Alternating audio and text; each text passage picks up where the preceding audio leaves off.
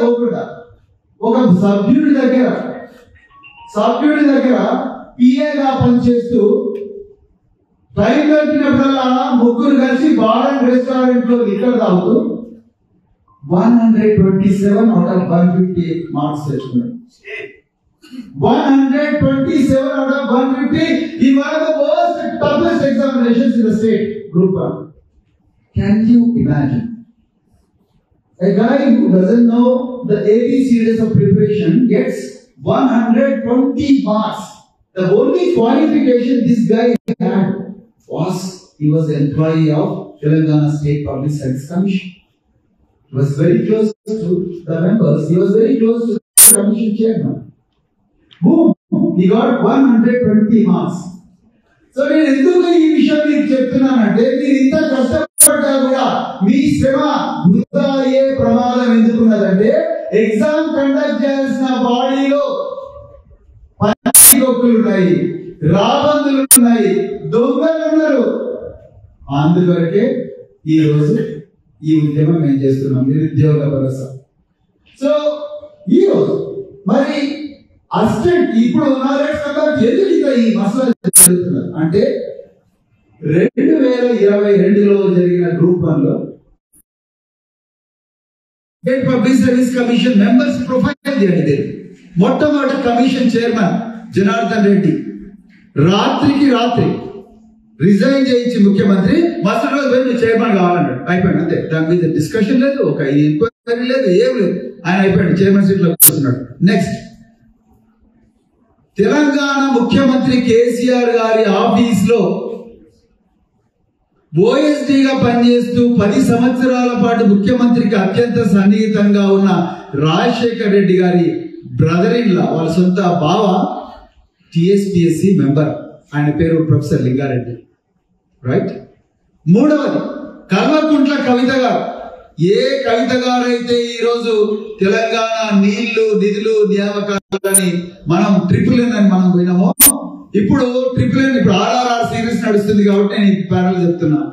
Triple N నుంచి నీళ్ళు నిధులు నియామకాల నుండి లిక్కలు లిఫ్ట్ ఇరిగేషన్ అండ్ లీకేజ్ కాడికి వచ్చింది మన స్టోరీ. ఆ కల్వకుంట్ల కవిత గారు వంద కోట్ల స్కామ్లో నిందితురాలు.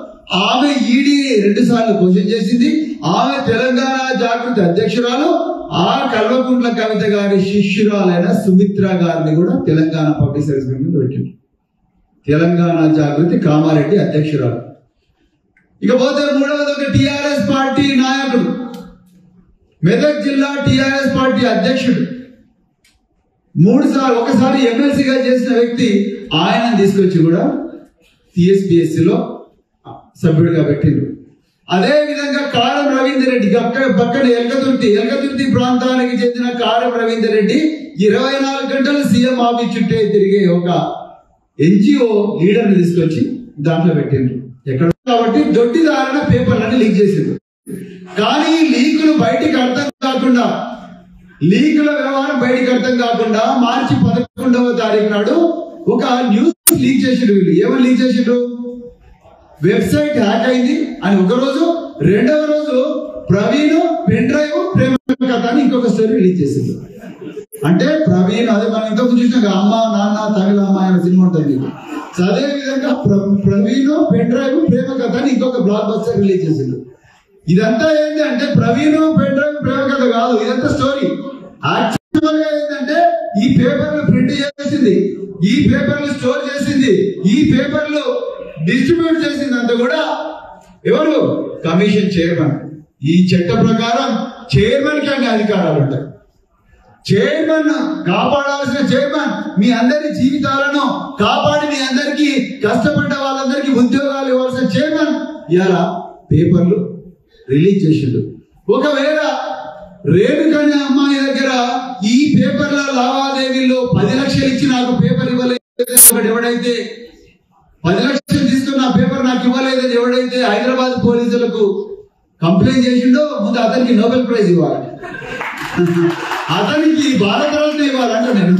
ఎందుకంటే అతనే ఫోన్ చేయకపోతే తెలిసే కాదు బయట ప్రపంచానికి. ఇలా కేటీఆర్ ఏం మాట్లాడుతున్నాడండి ఆయన? ప్రవీణ్ రాజశేఖర్ రెడ్డి ప్రవీణ్ రాజశేఖర్ రెడ్డి. ఏం మాట్లాడుతున్నాడు ఆయనకి ఏమైనా తెలుసా? ఆయన ఎప్పుడైనా కాంపిటేటివ్ ఎగ్జామ్స్ రాసిండా?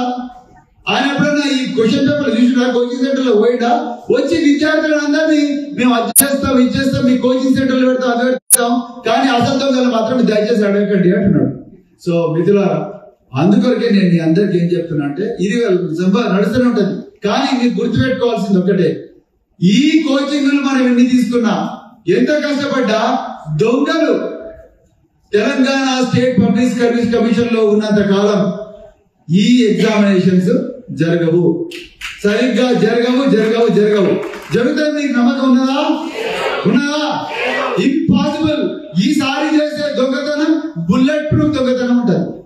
అంటే ఎవరు కూడా లోపల పోలేరు. ఎస్ లీడ్ చేసుకుని చేసుకోండా. ఇంత గొడవ చేసిండ్రు. ఏం కాలే మనకు. ఇంకా ఇప్పుడేమైతుంది? ఏం కాదు. నడు.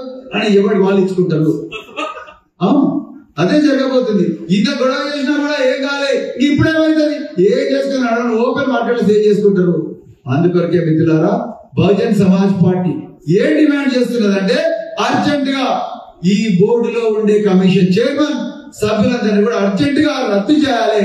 వాళ్ళని బయట పెట్టాలి. వాళ్ళని జైలుకి పంపించాలని చెప్పి మేము డిమాండ్ చేస్తున్నాం అదేవిధంగా అదే విధంగా దీని మీద సిబిఐ ఎంక్వైరీ చేయించాలి. సుప్రీం కోర్టు జడ్జితో విచారణ చేయించాలి అని చెప్పి నేను ప్రెసిడెంట్ ఆఫ్ ఇండియాకి ఈ రోజు లెటర్ రాయడం జరిగింది. లెటర్ కూడా పంపించేసినాడు కూడా. ఈ కేటీఆర్ ఏం చేస్తున్నాడు? మధ్యలో పుల్ల పెడుతున్నాడు ఏమని? ఆయన ఎట్లా మాట్లాడుతున్నాడు అంటే అరే పది శాతం ఉద్యోగస్తులు పది శాతం దొంగలు ఎప్పుడైనా ఉంటారు సిస్టమ్ లా తొంభై శాతం మంది వస్తారుగా మంచి పిల్లలు వస్తారు కదా. మన దాంట్లో కూడా కొంతమందికి అదే ఉంది. ఒకసారి ఎప్పుడు ఉండేటివి సార్ ఈ లీకులు గీకులు. కానీ తొంభై మంది ఉద్యోగాలు వస్తున్నాయి కదా పది వస్తే రాని. ఏమైతుంది? మనకైతే ఉద్యోగాలు వస్తాయంట. రామ్. ఆ పది ద్వారా వచ్చినోడు రేపు టీఎస్పీసీ చైర్మన్ అయితే మళ్ళా? ఆ పది ద్వారా ఆ పది మంది దొడ్డిదారిన వచ్చినోడు మళ్ళీ టీఎస్పీసీ సెక్రటరీ అయితే ఆ దొడ్డిదారిన వచ్చినోడు రేపు జిల్లా కలెక్టర్ అయితే రేపైతే మీ విద్యాశాఖ సెక్రటరీ అయితే ఇగో ఈ రోజు ఒక్కటే న్యూస్ వికారాబాద్లో తాండూరులో మళ్ళీ టెన్త్ క్వశ్చన్ పేపర్ లీక్. ఇంకా అర్థం చేసుకోండి. అంటే నేను ఏమో నేను కాకతీయ క్యాంపస్ ఏం చెప్పినంటే ఈ నైన్టీ ఎంఎల్ బ్యాచ్లు పాలకులు అయితే ఇట్లనే ఉంటది. అరే ఏ ఎగ్జామ్ పెట్టినా క్వశ్చన్ పేపర్లు దొరికిన తప్పులు. ఏడు క్వశ్చన్ల మీద నిరుద్యోగుల అభ్యంతరాలు. కోర్టుకు ఎక్కిన అభ్యర్థులు. మళ్ళీ ఒక కీ రిలీజ్ చేస్తారు. ఈ కీలో తప్పులు. మళ్ళీ తప్పులు మళ్ళీ అభ్యంతరాలు మళ్ళీ తప్పులు అభ్యంతరాలు. అసలు మీకు చదవచ్చా రాదా? నా డౌట్ అనేది మీకు చదువు వస్తుందా రాదా? క్వశ్చన్ పేపర్ బార్లో కూర్చొని సీజ్ చేస్తారా? రెస్టారెంట్లో కూర్చొని చేస్తారా? పర్మిట్ రూమ్లో కూర్చొని చేస్తారా? తాళ్ళలో కూర్చొని చేస్తారా మీరు? నాకు అర్థం కాదు. సో ఏ- ఎక్కడ క్వశ్చన్ పేపర్ సెట్ చేస్తున్నారు? అదే యూపీఎస్సీలో ఈ సమస్యలు రావు కదా. మరి యూపీఎస్సీలో సమస్యలు ఉన్నప్పుడు టీఎస్పీఎస్సీలు ఎందుకు వస్తున్నాయి? ఎందుకు వస్తున్నాయి డిఎస్పీసీలు అంటే మనం ఏం చేసినా నడుస్తుంది. తెలంగాణ పిల్లలు ఈజీగా ఎమోషనల్గా బ్లాక్ మెయిల్ చేయొచ్చు. ఈజీగా వీళ్ళను వీళ్ళకి బాపులకు ఏదైనా చెప్పొచ్చు. వీళ్ళ తల్లిదండ్రులకి వాళ్ళ కాళ్ళ మీద పడవచ్చు లేకపోతే వాళ్ళకు బతుకమ్మ చేయొచ్చు ఓ కళ్యాణ లక్ష్మి చేయొచ్చు అవసరం కూడా దళిత బంధం లేకపోతే రెండు నిమిషాలు కన్నీళ్ళు పెట్టుకోవచ్చు. లేకపోతే ఏంటి నాకు అర్థం కాదు? కళ్ళకుంట్ల కవిత గారు వంద కోట్ల స్కామ్లో ఇరుక్కుంటే హైదరాబాద్ సిటీ అంతా కూడా పెద్ద పెద్ద పోస్టర్లు వేసింది ఏమని? డాటర్ ఆఫ్ ద ఫైటర్ అని. అరే! అన్నారు. వంద కోట్లు తీసుకున్నాడు డాటర్ ఆఫ్ ద ఫైటర్ నాకు ఇట్లా అంటది ఈయన ఇట్లా అంటాడు బాబాయ్ ఇట్లా అంటాడు? బిడ్డలు ఇట్లా అంటది అంటే ఏది? ఇంకా వంద కాదు బిడ్డ వెయ్యి తింటా ఉంది కదా? సో సో ఈ daughter of the fighter daughter of the cheater అనేది తెలంగాణ ప్రజలు- తెలంగాణ- అంటే daughter of the fighter daughter of the cheater అనేది తెలంగాణ ప్రజలు నిర్ణయిస్తారు త్వరలోనే. బట్ నేను ఏమంటానంటే వీళ్ళందరూ కాన్ఫిడెన్స్ ఏముందంటే ఏ ఏం కాదు తల్లిదండ్రులు మనం వేసుకుంటాం వీళ్ళ తల్లిదండ్రులకు మనం పది రూపాయలు ఇస్తే అయిపోతుంది వెయ్యి రూపాయలు ఇస్తే అయిపోతుంది అన్న కాడికి వచ్చేది కాబట్టి మీ అందరూ బాగా ప్రిపేర్ అవుతున్నాయి ఏ మాత్రం నిరాశకు గురి కాకుండానే ఒక పోరాటానికి సిద్ధం కావాల్సిన అవసరం ఉన్నది. చదువుకుంటూనే study as well as get ready for the struggle at like what you నేను ఢిల్లీ ఢిల్లీ ఇంటర్నేషనల్ ఎయిర్పోర్ట్లో కూర్చొని కూడా నేను కూడా విజన్ ఐఏఎస్ పేపర్లు ఇప్పుడు కూడా చేసిన. అర్థమైంది మీకు? నేను కూడా విజన్ ఐఏఎస్ ఇరవై ఆరో తారీఖు నాడు ఢిల్లీ ఇంటర్నేషనల్ ఎయిర్పోర్ట్లో కూర్చొని నా ఇన్స్టాగ్రామ్ పోస్ట్ ఎన్ని లైక్లు వచ్చినాయి చూడలే. నా ఎఫ్బీ టెన్ లైక్ వచ్చిన నా ట్విట్టర్ ఎంతమంది ఫాలో చూడలే. విజన్ ఐఏఎస్ తీసుకొని ఆన్లైన్ లా నేను కూడా క్వశ్చన్ సాల్వ్ చేయడానికి ప్రయత్నం చేసిన. At the same time ready to fight because this is for your future. This is the this was the this is the dream of so many martyrs who have laid down their lives for Telangana ఒక్కరు కాదు ఇద్దరు కాదు పదిహేను వందల మంది. నేను అందులో కొందరు శివార్ మోషణ సిరిపురం యాదయ్య వేణుగోపాల్ రెడ్డి నిశాంత్ రెడ్డి సాయి కుమార్. సో ఇలాంటి వ్యక్తులు చనిపోయే ముందు వాళ్ళ సూసైడ్ నోట్లో ఏం రాసిందంటే నా తెలంగాణ వస్తే నాకు ఉద్యోగాలు వస్తాయి. నా తెలంగాణ వస్తే మా ఇళ్ళలో సంపద వస్తుంది నా తెలంగాణ వస్తే మా యూనివర్సిటీలు బాగుపడతాయి మా విద్యాలయాలు బాగుపడతాయి నా సిద్ధు కానీ మన తెలంగాణ వచ్చింది కానీ దొంగల చేతిలో పోయింది. ఆ దొంగలు ఎవరు కూడా క్యాంపస్ అడుగు పెట్టడానికి సిద్ధంగా లేరు. ఈరోజు కేసీఆర్ ఎందుకు కాకతీయ యూనివర్సిటీ క్యాంపస్కి రావడం లేదు? ఎందుకు ఆర్ట్స్ కాలేజ్కి రావడం లేదు? ఎందుకు బిఏ కాలేజ్కి రావడం లేదు? ఎందుకు సీకేఎం కాలేజ్కి రావడం లేదు? ఎందుకు ఎంపీ కాలేజ్కి రావడం లేదు? ఎందుకు ఈ క్యాంపస్ రావడం లేదు? ఎందుకు శాతవాహన యూనివర్సిటీ పోవడం లేదు? ఎందుకు ప్రభుత్వ పాఠశాలకు పోవడం లేదు? ఎందుకు? బికాస్ ఈ డిస్లైక్స్ ఈ స్కేడ్ ఆఫ్ స్టూడెంట్స్ అమ్మో వీళ్ళ జ్ఞానం వస్తే నా బండారం బయటపడుతుంది. వీళ్ళ జ్ఞానం వస్తే నేను చేసే కుంభకోణాలు బయటపడతాయి. వీళ్ళ జ్ఞానం వస్తే ఇప్పుడు ప్రవీణ్ కుమార్ ప్రశ్నిస్తున్నట్టుగా ప్రశ్నిస్తారు. మరి వీళ్ళ జ్ఞానం వస్తే నేను దొడ్డిదారుల ఉద్యోగాలు ఎట్లా అమ్ముకోవాలి ఎట్లా నా మనుషులను చొప్పించాలి? ఇది ఎంత ఘోరం ఉంటుందంటే నా మనుషులు చొప్పించాలన్న ప్రైజ్ ఒక చీఫ్ ఇంజనీర్ కేసీఆర్ చొప్పించిన మనసు అయితే రేపు పొద్దున కాళేశ్వరంలో లక్ష కోట్ల ప్రాజెక్ట్ జరుగుతుంది. అందులో యాభై వేలు యాభై వేలు డైరెక్ట్ ప్రాఫిట్ తీసుకోండి సార్ అంటారు. నువ్వు నేను ఇద్దరు పార్ట్నర్స్ అనుకుంటా. అవునా కదా? సో ఆ విధమైన కరప్షన్ కోసమే దొడ్డిదారిన గేట్ ఓపెన్ చేసి వాళ్ళకి కావాల్సిన మనుషులను తీసుకుపోతారు. కానీ మీరు అమాయకంగా నా నగర్ కోచింగ్ సెంటర్ సెంట్రల్ లైబ్రరీలో ఇంకో లైబ్రరీలో ప్రిపేర్ అవుతూనే ఉంటారు. కానీ అక్కడ పేపర్లు అనుకుంటూనే ఉంటారు. ఇవన్నీ ఆగాలనే ఇవన్నీ ఆగాలని. వీటికి ఒక అడ్డుకట్ట పడాలని అడ్డుకట్ట వేయాలని ఈ దొంగలను బయటికి తీసుకురావాలనే నేను పదిహేడవ తారీఖు నాడు అమరణ నిరాహార దీక్ష చేసిన మిత్రులు I was, I was ready, I was ready to lose నాకు చాలా మంది బాగు చేసిండు sir it is going to be very dangerous I was ready నేను కేసీఆర్ లాగా ఖమ్మం జైల్లో ఈ దొంగతనం నేను నిమ్మకాయ తాగే కార్యకర్తను కాదు బయట నేను అట్లా చేయదలుచుకోలేదు I wanted to I wanted to really fight for the you know students of the state because వాళ్ళ పేరెంట్స్ బాగుంటుంది దుక్కి దున్ని మొక్క నాటి మొక్క మొక్కకు నీళ్ళు పోసి ఎండలు అనుకుండా వాన అనుకుండా రాత్రి అనుకుండా ధాన్యం మీద మార్కెట్ యార్డ్లలో పండుకొని అందరితో అవమానం చెంది పది లక్షల పెట్టుబడి పెడితే ఒక్క లక్ష రూపాయలు కూడా ఆందోళన రాని రైతు కూలీలు రైతులు వీళ్ళందరి పిల్లలను ఇక్కడికి పంపించి ఒక ఉద్యోగం పట్టుకొస్తే ఇల్లు రిపేర్ చేసుకోవచ్చు చెల్లెలు బిడ్డ పెళ్ళి చేయొచ్చు లేకపోతే నాయన ఆరోగ్యం బాగా చేసుకోవచ్చు. ఆ అప్పులు తీరు చేయవచ్చు అన్న ఆశతోని తల్లిదండ్రులు ఇక్కడ పంపిస్తారు కాకపోయినా మా భక్తులు తెల్లారినాయి మేము ఇక్కడే బతికినాం కానీ నా బిడ్డలున్నా నాకైనా మంచిగా బతకాలి అన్న ఒక భావనతోని ఇక్కడికి పంపిస్తారు. వాళ్ళందరి కష్టాలు చూసిన బిడ్డగా చూసిన ఒక ఆఫీసర్గా చూసిన బిడ్డగా ఒక చూసిన ఒక విద్యార్థిగా చూసిన ఒక నాయకుడిగా నాకు అనిపించింది this is not the way we should keep quiet we must fight against this injustice అనుకున్నాం కాబట్టి ఈ రోజు బహుజన సమాజ్ పార్టీ నాయకులందరూ కూడా ఈ రోజు మరి మీ దగ్గరికి రావడం జరిగింది మిత్రులారు. అందుకనే రాజకీయ చైతన్యం కూడా ఇంపార్టెంట్ మిత్రులారు. సో అందుకని please read news papers everyday but don't believe in Namaste Telangana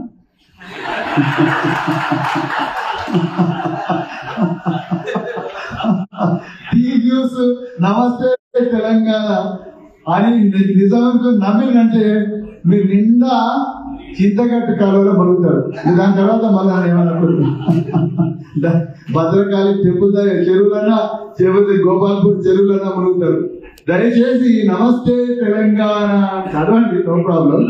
కానీ మిగతా పేపర్ కూడా చదవాలి. నిజాన్ని మీరే కనుక్కోవాలి. అరే కేసీఆర్ గారు అంటారు తెలంగాణ రైతులు ఆత్మహత్య లేవంటారు. నేషనల్ క్రైమ్ రికార్డ్స్ బ్యూరో చెప్తుంది? రెండు వేల పద్నాలుగు నుంచి రెండు వేల ఇరవై రెండు వరకు తెలంగాణలో ఆరు వేల తొమ్మిది వందల పన్నెండు మంది రైతులు ఆత్మహత్య చేసుకున్నారు. ముఖ్యమంత్రి సొంత జిల్లాలోనే పన్నెండు మంది చేసుకున్నారు.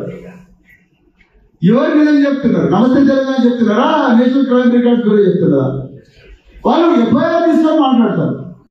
ఈయన రైతుల ఆత్మహత్యలే లేవని తెలంగాణ అంటారు. నమస్తే తెలంగాణ హెడ్లైన్ చూసి మీరు మోసపోయిందంటే ఇక ఘోరంగా ఉంటుంది. ఇక దాని గురించి ఎక్కువ మాట్లాడడం ట్రై చేశారు కానీ we all the news papers అందుకొరకు ఈ పోరాటంలో మీరు మీ తల్లిదండ్రులకు చెప్పాలి మిత్రులారా మీ ఫ్రెండ్స్కి చెప్పాలి.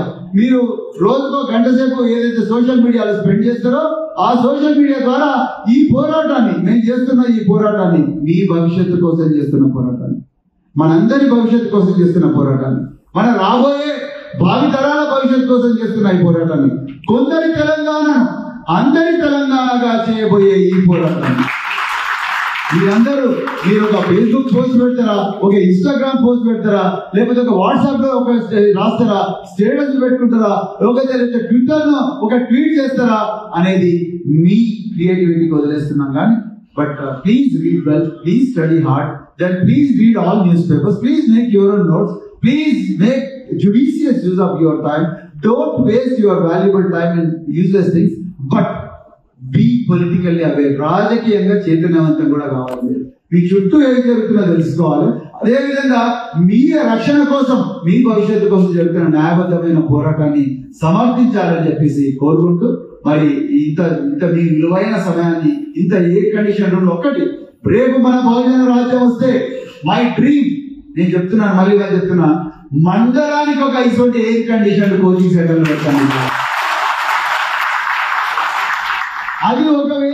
లేకపోతే హన్మకొండ చౌరస్తా ట్రాన్స్ఫార్మ్ దగ్గర నన్ను రాళ్ళు తీసుకొని కొట్టి దానికి ఎల్లడ ట్రాన్స్ఫార్మర్ ఓపెన్ ఛాలెంజ్ చేస్తున్నా మీకు.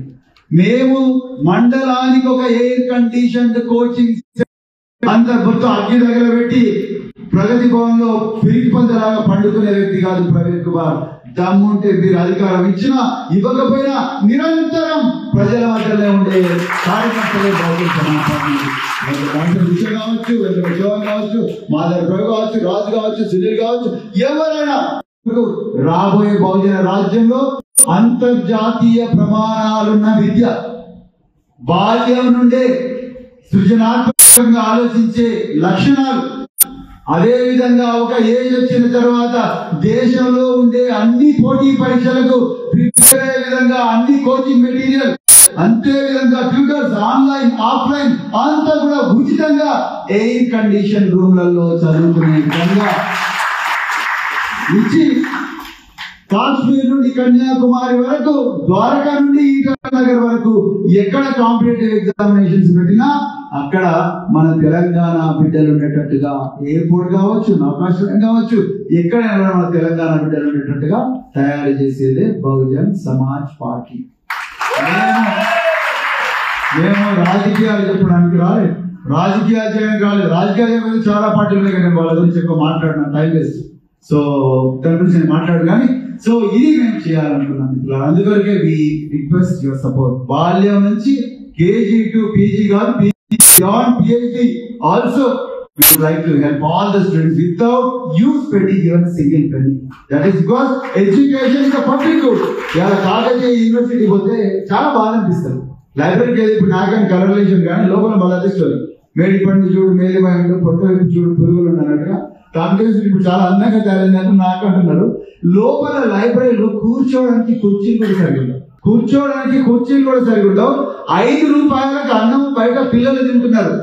యూనివర్సిటీ వైస్ ఛాన్సలర్ ఇచ్చేది అవుతుందని తరలించండి అని అంట ఆ ఐదు రూపాయల కౌంటర్. అంటే ఆ పరిస్థితి ఉన్నది కదా. అరే ఇంత పెద్ద తెలంగాణ రైస్ బౌల్ అంటున్నాం కోటి ఎకరాల బాగా అంటున్నాం ఈ తెలంగాణలో తినడానికి తిండి దొరకదా పిల్లలకు? ప్రభుత్వం ఫ్రీగా విద్యార్థుల కోచింగ్ సెంటర్ల పుట్టి ఇవ్వలేదా? ప్రభుత్వమే ఎందుకు ఎయిర్ కండిషన్ కోచింగ్ సెంటర్లు పెట్టకూడదు? ప్రగతి భవన్ ఒక్కటే ఎయిర్ కండిషన్ ఉండాలా కేటీఆర్ ఆఫీసర్ ఎయిర్ కండిషన్ ఉండాలా మిగతా ఉండకూడదా? ఉండకూడదా? బరాబర్ ఉండాలి. ఎందుకు ఉండకూడదు yes it is our Telangana. Yes పన్నులు కడుతున్నారు అందరు అటువంటి ఎందుకు రాదు నువ్వు ఎక్కడ పెట్టాలో అక్కడ పెట్టకుండా మంచిగా ఉన్న సెక్రటరియట్ కూలగొట్టి పన్నెండు వందల కోట్లతో మొదలు కడుతున్నాడు సెక్రటరియట్ ఎవరు రెండు ఏళ్ళ సెక్రటరియట్ సెక్రటరియట్ పోయిన ఎంప్లాయీ ఆయన మనసు మారుతుందా ఈ పెద్ద బిల్డింగ్ కట్టగానే? మారుతుందా ఇంపాసిబుల్ అదే మీ మీద ఖర్చు పెడితే మీ అందరి మీద పెడితే మీరందరూ కూడా రేపు పొద్దున పెద్ద పెద్ద ఇంజనీర్లు డాక్టర్లు లేకపోతే కలెక్టర్లు లేకపోతే వ్యాపారవేత్తలు అయితే మీరైతే డబ్బిస్తారు స్టేట్ మళ్ళీ వాపస్. ఎవరు ఆలోచిస్తున్న వాళ్ళ ఆయన సుఖం గురించి ఆలోచిస్తున్నారు ముఖ్యమంత్రి. ఆయన కుటుంబ సుఖం గురించి ఆలోచిస్తున్నారు. సో విధుల అందుకొరకు why you prepare for your competitive examinations why you follow all my tips I also request you to be political aware and please support our movement thank you very much జై భీమ్ జై భారత్ జై Telangana thank you